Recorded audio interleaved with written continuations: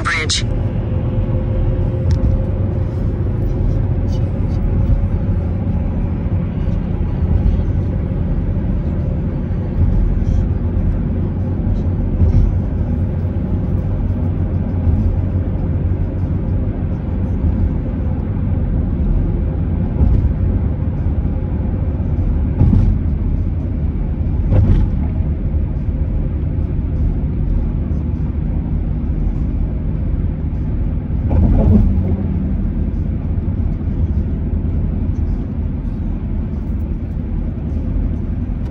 In two miles, keep left onto Cross Bronx Expressway toward George Washington Bridge.